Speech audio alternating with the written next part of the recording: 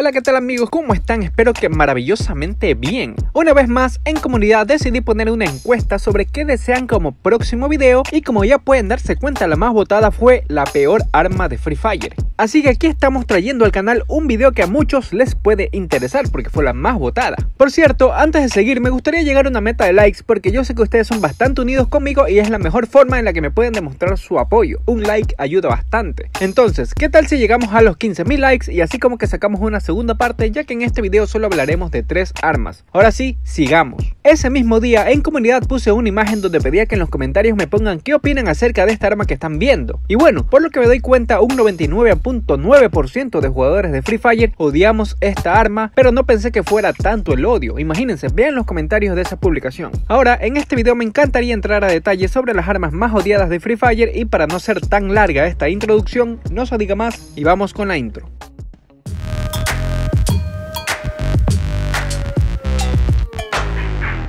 Si nos ponemos a hablar de un arma fuerte con largo alcance y que con dos balas te manda al inframundo como dice Silocorp, lo primero que se nos viene a la cabeza es esta arma, la M1887. Para ser un poco más informativo en este video, les comento que esta arma sí existe y su nombre real es Winchester modelo 1887. Le dieron ese nombre por el año en el que fue creada. Se trata de una escopeta de palanca famosa en el lejano oeste y la más usada por parte de cazadores, agentes de la ley o sea policías y tiradores. Y en el mundo de Free Fire esta arma es la más usada por los mancos. Esta parte no lo digo yo, lo dicen ustedes en los comentarios y bueno, a la final de todo resulta ser cierto. Incluso esta arma en la vida real se desempeña por su largo alcance al igual que en el juego. El largo alcance es el punto clave de esta arma, en la vida real y en el juego también. Ahora, un dato curioso es que esta arma salió en la película Terminator, como pueden ver en este video, y para que te sorprendas aún mucho más, salió también en la película de Ghost Rider. También puedes verlo aquí en este video. Ahora, ¿cuándo salió por primera vez esta arma a Free Fire? Garena decidió que para octubre del 2019 Free Fire iba a tener una nueva escopeta y que en su presentación explicaban que esta arma iba a tener un alto poder de fuego. Esta M1887 resultó ser tan fuerte que la comunidad dejó a un lado las otras escopetas del juego para usar solamente esa de ahí porque les daba ventaja tanto así que tuvo algunos parches y entre ellos el de mayo del 2020 después de varios reclamos le hacen un nerf, donde le bajan el alcance un 15% y el daño mínimo se lo bajan también 2 puntos. Incluso ellos explican lo siguiente, ya habíamos tomado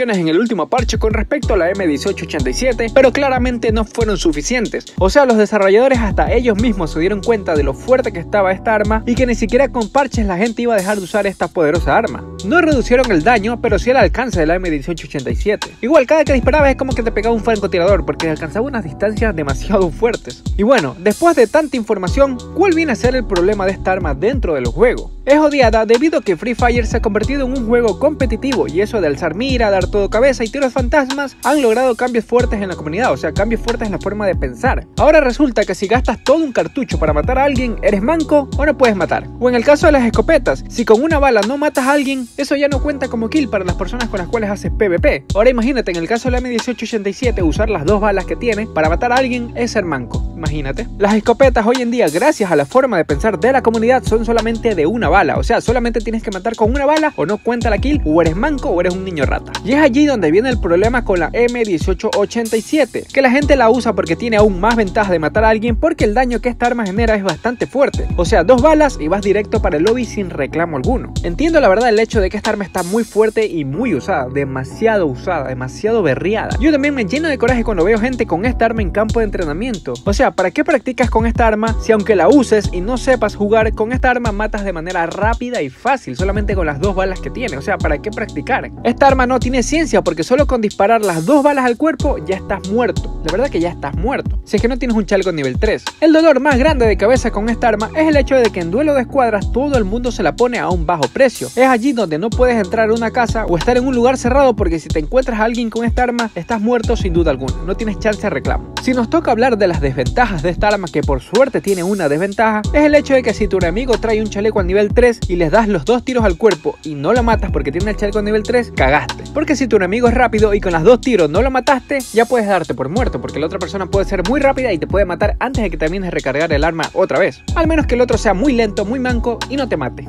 Ahora, también resulta que nuestro querido Free Fire quiso ver el mundo arder al traer al juego una skin bastante rota de la M1887. Una skin con atributos, o sea, ¿para qué si esa arma ya estaba fuerte? A la skin nueva le pusieron doble de daño y uno más de velocidad de recarga, o sea, para que recargues más rápido y para que mates más rápido. Imagínate el descaro de Free Fire para traer esto. ¿ah? ¿Qué se les pasaba por la cabeza al hacer esto? Bueno, ya sabemos que lo primero que se les pasa por la cabeza es querer ganar dinero, porque para variar tendrías que gastar bastantes diamantes para obtener este skin Pay to Win. El ejemplo más descarado de Pay to Win en Free Fire, este skin de la M1887. Así que mi gente, esta arma es la más odiada de Free Fire debido a su potencia dentro del juego y del abuso que tienen al aprovechar su ventaja para ganar. Un poco más y se podría considerar que la persona que usa esta arma para ganar es como si usara hacks para tener ventajas y ganar. Porque para usar esta arma no dependes de habilidades super hiper mega poderosas, sino que simplemente usas las dos balas que tiene esta escopeta y matas a la persona que tienes enfrente.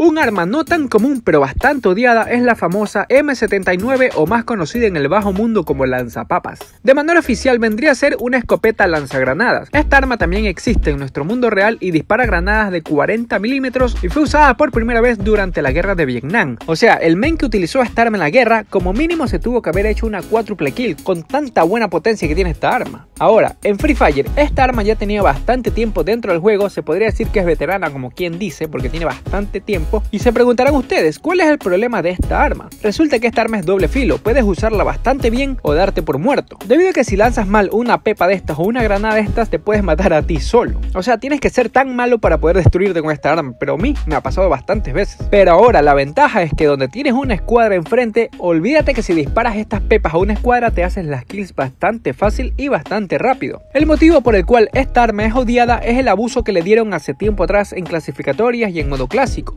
todas las partidas he encontrado a gente usándola y usar esta arma es la forma más descarada de ganar partidas porque es ganada fácil también, ya que solo con lanzar una granada de estas te podías llevar escuadras completas que estaban atándose ahí un batallón, tú simplemente ibas de espalda y se las tirabas y los matabas a todos. Y no miento al decir que todo el mundo lo usaba en esos tiempos, ¿ah? porque tenía sus tiempos de fama donde todo el mundo se la ponía, créanme que sí. Uno de los motivos más grandes por el cual agarré coraje y odio esta arma fue hace unos meses atrás, cuando a Garena se le ocurrió traer una skin para esta arma, otra skin para un arma fuerte. Imagínense. Y bueno, el problema no es sus dos puntos de rango, porque tiene dos puntos más de rango ese skin, sino que se podría mostrar en el lobby. Esta arma te la podías equipar y la podías llevar a cualquier lado. Gracias a esto, los que tenían este skin la podían usar en el modo entrenamiento, y es allí donde vienen los dolores de cabeza con esta arma. Hubo un tiempo donde era imposible, pero de verdad se los digo, imposible practicar en modo entrenamiento, porque siempre había alguien usando esta arma. No te dejaban jugar porque a cada rato te mataban con esa pendejada, o sea, cada rato explotabas. Ni bien reaparecías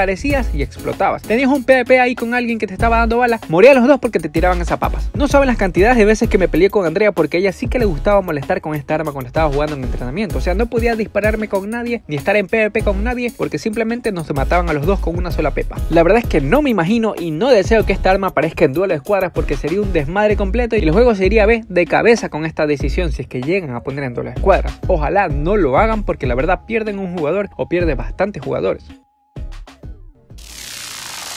Ahora sí, si nos ponemos a pensar y hablar de un arma molestosa a larga distancia, se nos viene a la cabeza la BSS. También existe en nuestra vida real y su nombre es BSS Vintores. Es un francotirador silenciado y en Free Fire salió para el 2018, también a inicios del juego. Esa arma un poco más y se creó con el juego también. Esta BSS no tiene el potencial que merece, pero su mira por 4 y el silenciador la convierte en un arma peligrosa para la persona que sea campera, porque simplemente te pones en una esquinita, esperas a la gente y como tiene silenciador, nadie te ve. Tiene un daño la verdad bastante bajo y por eso no le daban mucha atención a esta arma. O sea, tú la cogías al inicio, pero cuando ya veías unas armas mejores, las dejabas en el piso y la cambiabas. Ahora, otra vez Garena tuvo una excelente idea y resulta que para el parche de diciembre decidieron poner aditamentos nuevos a las armas que no tenían mucho uso en el juego. Y entre esas estaba la BCS, donde incluyeron un aditamento llamado bala letal. Imagínense el nombre, solamente con el nombre ya te puedes dar cuenta lo odiosa que puede ser esta arma. Es allí donde la comunidad empezó a usar y a odiar a la vez esta arma, porque igual todas las armas que les estoy nombrando tienen su ventaja y su desventaja, o sea que si la usan contra ti te va a dar odio, pero si tú la usas te va a gustar. El aditamento bala letal de la BCS tiene como función causar más daño al enemigo luego de haberle disparado, o sea que ya no necesitas dispararle y le vas a seguir causando daño según Free Fire. Comentan que las balas están mejoradas para atravesar los músculos de los enemigos y provocar sangrado severo. En resumen, es decir, nuestros enemigos seguirán recibiendo daño una vez que les hayas disparado la primera bala. O sea que ya no resulta que vas a estar escondido disparando, sino que aparte de que ya no le estás disparando, vas a seguir recibiendo daño. O sea que si le pegas unas cuantas balas bien pegadas y no lo terminas de matar, el enemigo muere en el camino.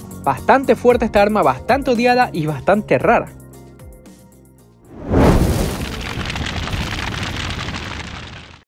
Y bueno mi gente, deseo dejar este video hasta aquí porque siento que he hablado muy a detalles acerca de estas armas que no son tan queridas por la comunidad y el video se me puede hacer bastante largo. Entonces ya saben mi gente, estas han sido hasta ahora las tres armas más odiadas de Free Fire. Yo sé que hay más, la verdad es que hay muchas más, pero hasta mientras quedémonos con estas. Odiadas en el sentido de que si un enemigo las usa en contra de ti, obvio vas a odiar que te maten de esa forma, pero si tú las usas te va a gustar. Recuerden también que si desean una segunda parte dejen un buen like que se note que les gustó el video y claro, déjenme en los comentarios qué otras consideran que son odiadas para traer una segunda parte. Por mi parte un placer haberles traído este contenido, no olviden suscribirse, no olviden comentar, no olviden compartirlo con sus amigos y por mi parte nos vemos en un próximo video. Adiós.